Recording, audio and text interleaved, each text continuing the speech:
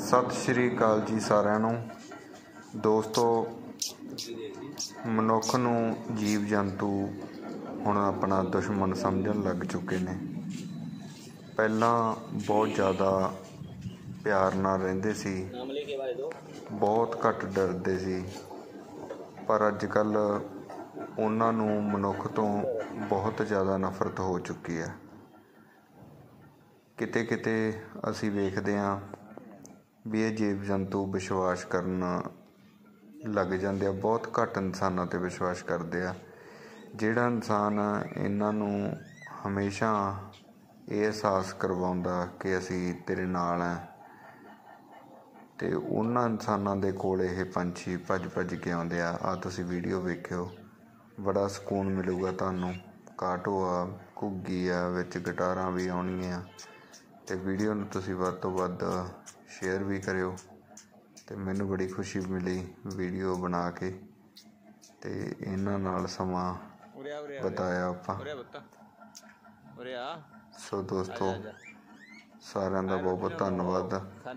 Page ਨੂੰ like follow ਕਰੋ share ਕਰੋ ਤਾਂ ਜੋ ਆਪਾਂ ਹੋਰ ਕੁਦਰਤ ਦੀਆਂ ਵੀਡੀਓ ਬਹੁਤ ਸਾਰੇ ਕੁਦਰਤ ਪ੍ਰੇਮੀ ਭਰਾਵਾਂ ਤੱਕ ਪਹੁੰਚਾ ਸਕੀਏ। ਤੇ ਆਪਣੇ ਨਾਲ ਜੋੜ ਸਕੀਏ।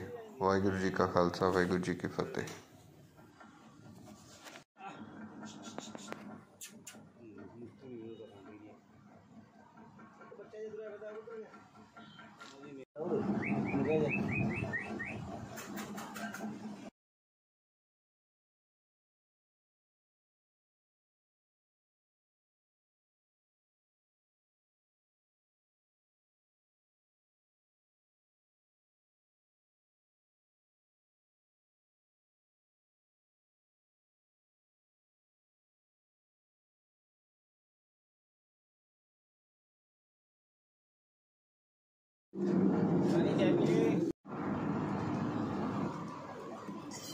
शिवानी शिवानी इधर होगी ये तो लगा ये दूसरी शिवानी की बच्ची है